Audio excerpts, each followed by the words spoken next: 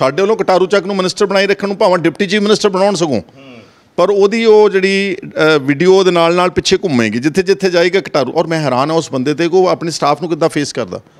ਆਪਣੀ ਫੈਮਿਲੀ ਨੂੰ ਕਿੱਦਾਂ ਫੇਸ ਕਰਦਾ ਜਿਹੜਾ ਅਫਸਰਾਂ ਨਾਲ ਜਿਹੜੇ ਉੱਥੇ ਅਕਸਰ ਜਿਹੜੇ ਮੁਲਾਜ਼ਮ ਨੇ ਉਹਨਾਂ ਨੂੰ ਫੇਸ ਹੀ ਕਿੱਦਾਂ ਕਰਦਾ ਵਾ।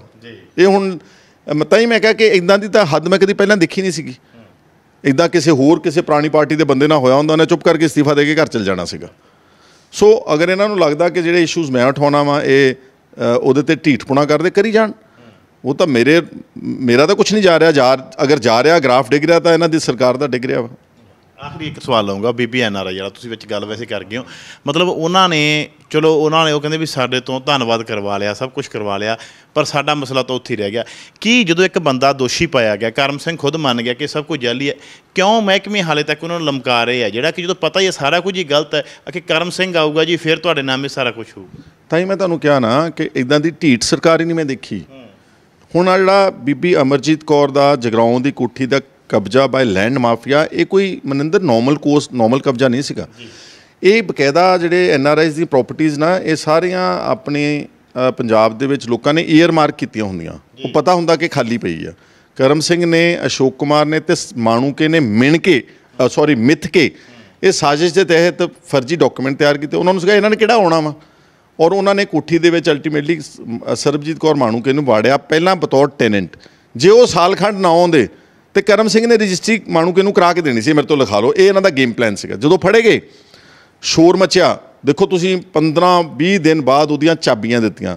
ਚਾਬੀਆਂ ਦੇਣ ਨਾਲ ਮੁਕੱਦਮਾ ਜਾਂ ਜਿਹੜਾ ਕ੍ਰਾਈਮ ਥੋੜੋ ਖਤਮ ਹੋ ਗਿਆ। ਹਲੇ ਉਹਨਾਂ ਦਾ ਨਾਮ ਰੈਵਨਿਊ ਰਿਕਾਰਡ ਵਿੱਚ ਬਹਾਲ ਹੋਣਾ ਵਾ। ਮੰਨ ਚੁੱਕੇ ਸਾਰੀ ਸਰਕਾਰ ਮੰਨ ਗਈ ਆ। ਉਹ ਕਰਮ ਸਿੰਘ ਮੰਨ ਗਿਆ ਕਿ ਮੇਰੀ ਝੂਠੀ ਰਜਿਸਟਰੀ ਆ ਅਸ਼ੋਕ ਕੁਮਾਰ ਦੇ ਤਾਂ ਪਰਚਾ ਹੀ ਦਰਜ ਹੋ ਗਿਆ। ਸੋ ਜਦ ਤੱਕ ਉਹਨਾਂ ਦੀ ਨਾਮ ਰੈਵਨਿਊ ਰਿਕਾਰਡ ਵਿੱਚ ਦੁਬਾਰਾ ਉਹਨਾਂ ਦੀ ਮਲਕੀਅਤ ਤੇ ਨਹੀਂ ਚੜ੍ਹਦੀ ਇਹਨਾਂ ਸਾਰਿਆਂ ਦੇ ਉੱਤੇ ਪਰਚਾ ਦਰਜ ਨਹੀਂ ਹੁੰਦਾ। ਉਨੀ ਦੇਰ ਤੱਕ ਜਦੋਂ ਜਹਿਦ ਜਾਰੀ ਰਹੇਗੀ। ਜਿਹੜਾ ਬਲਤੇਜ ਪੰਨੂ ਨੇ ਸ਼ਰਾਰਤ ਕੀਤੀ ਸੀ ਉਹਨਾਂ ਨੂੰ ਵਿਚਾਰਿਆਂ ਨੂੰ ਮਿਸਲੀਡ ਕੀਤਾ। ਦੇਖੋ ਉਹ ਬੰਦੇ ਮੈਂ ਉਹਨਾਂ ਦੇ ਬਾਰੇ ਇਹ ਕਹਿਣਾ ਚਾਹੁੰਦਾ ਕਿ ਉਹ ਕਿਹੜਾ ਟ੍ਰੇਨਡ ਆਦਮੀ ਨੇ? ਉਹ ਤਾਂ ਬਾਹਰੋਂ ਇੱਕ ਐਨ ਆਰ ਆਈ ਹੈ ਐਨ ਆਰ ਆਈ ਪੰਜਾਬ ਦੇ ਵਿੱਚ। ਇਹਨਾਂ ਨੇ ਉਹਨਾਂ ਨੂੰ ਵਰਗਲਾ ਕੇ ਜਾਣਬੁੱਝ ਕੇ ਇੱਕ ਵੀਡੀਓ ਪਵਾ ਲਈ। ਔਰ ਜਦੋਂ ਵੀਡੀਓ ਪਬਲਿਕ ਡੋਮੇਨ ਚ ਆਈ ਮੈਂ ਉਹਨਾਂ ਨੂੰ ਵਾਰਨ ਕਰਤਾ ਸੀ। ਮੈਂ ਕਿਹਾ ਤੁਹਾਡੀ ਹੁਣ ਬਹੁਤ ਲੋਕਾਂ ਨੇ ਟ੍ਰੋਲਿੰਗ ਕਰਨੀ ਆ। ਇਹ ਤੁਹਾਡੇ ਤੋਂ ਗਲਤੀ ਕਰਾ ਲਈ ਉਹਨਾਂ ਨੇ।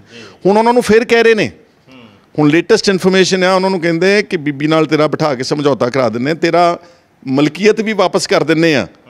ਪਰ ਤੂੰ ਸਾਡਾ ਲਿਖਤੀ ਐਗਰੀਮੈਂਟ ਕਰਕੇ ਕੋਈ ਐਕਸ਼ਨ ਅੱਗੇ ਨਹੀਂ ਲੈ ਕੇ ਜਾਵਾਂਗੇ। ਜੀ। ਉਹਨਾਂ ਨੇ ਜਵਾਬ ਦਿੱਤਾ ਕਿ ਜੀ ਤੂੰ ਅਸੀਂ ਕੋਈ ਲਿਖਤੀ ਨਹੀਂ ਕਰਨਾ ਸਾਡਾ ਨਾਮ ਵਾਪਸ ਰਿਕਾਰਡ 'ਚ ਕਰੋ।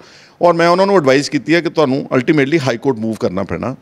Go in for a CBI inquiry ਇਹ ਪੂਰਾ ਜਾਲ ਮਾਫੀਆ ਦਾ।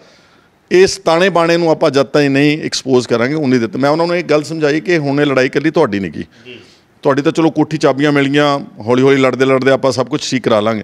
ਇਹ ਲੜਾਈ ਹੈਗੀ ਆ ਕਿ ਐਨ ਆਰ ਆਈਜ਼ ਦੀ ਕੰਪਲੀਟ ਇੱਕ ਸਿਧਾਂਤਕ ਲੜਾਈ ਬਣ ਗਈ ਆ। ਕਿਉਂਕਿ ਸਾਡਾ ਐਨ ਆਰ ਆਈ ਕਿੰਨਾ ਵਰ ਗਿਆ ਆਲਮੋਸਟ 1/4 ਆਬਾਦੀ ਪੰਜਾਬ ਦੀ ਐਨ ਆਰ ਆਈ ਆ।